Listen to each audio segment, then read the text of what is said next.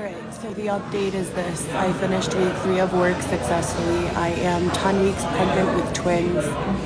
Um, I hope Xavier is the father. Uh, I cannot confirm that. I've been raped multiple times, for sure, without a doubt, dosed, drugged, and raped, while the police and others turned their heads the other way and have done nothing to assist.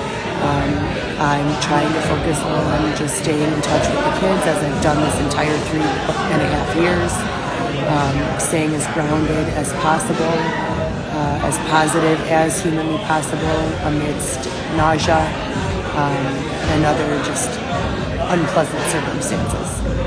Um, I hope you guys are having a good day. It's getting really cold in Chicago. I don't know how much more of this tent sleeping I can take. I bought a 30 degree tent and sleeping bag. It doesn't, it's fucking cold.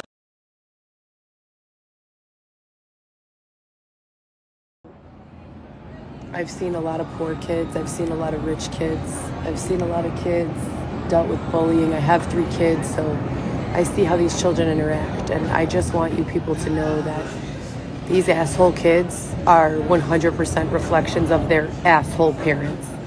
I don't care how much money you have, being an asshole is never cool. Making someone cry over and over again is never cool.